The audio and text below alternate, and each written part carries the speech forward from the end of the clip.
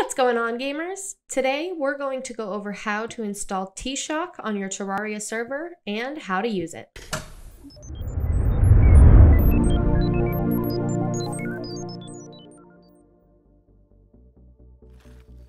Before we get started, don't forget to like, subscribe, and click that notification bell to stay up to date on all future videos. After playing on your Terraria server for a while, you might start to get bored with your original gameplay.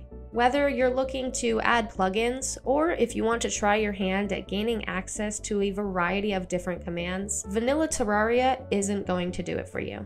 This is where TShock comes in, a modified version of Terraria that adds a ton of tools for both the players and the server owners. From certain commands to custom plugins, TShock can completely redefine your Terraria experience, which is great for those starting to get bored of the traditional vanilla gameplay. Let's go over how to install it.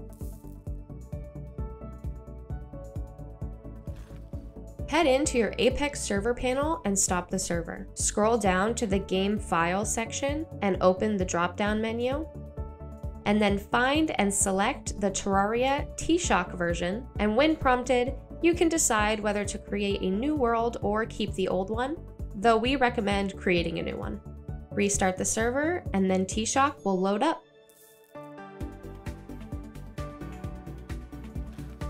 Once your server is online, you can join your TShock Terraria server and begin playing. You will now be able to use the Enter button to open the chat menu, and you can use commands starting with the forward slash. For all available commands, you can always use forward slash help at any time. In order to become an admin in TShock, you first have to create an admin account. To do this, find the setup code that can be found in your server console.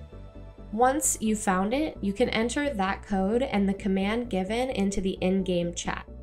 You'll now want to follow the prompts and generate a permanent admin account to use. For a more in-depth guide on how to do this, we have a blog post and a video on this as well. To add plugins to your server, you'll want to find your desired plugins in the TShock plugin repository, which will be linked down below. After you have the plugins that you want to use, head to your FTP file access in your Apex panel and upload the file into the server plugins folder. For a more in-depth tutorial on installing TShock plugins, make sure to visit our blog post. Now let's go over some common issues. If TShock messages or commands are not functioning in-game, return to your Apex panel page and make sure that the version is set to TShock.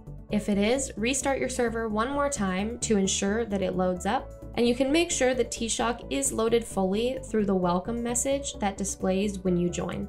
If the plugins are not working, make sure that TShock is properly loaded up on the server, and when you're sure that it is, double check that your plugins were uploaded directly into the server plugins folder in your FTP file access. If your plugins are uploaded in any other location, it's probably not going to load up properly. Once you're sure it's in the right place, restart your server and it should load up your plugins.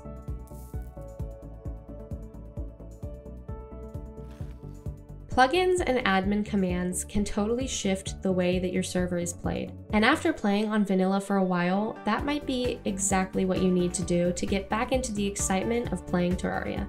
With TShock, this is super easy, and now you can add any plugins that you want to to boost your server's gameplay. That's all for this one, gamers. As always, I hope you have lots of fun.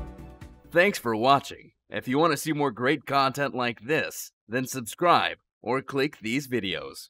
Until next time, gamers.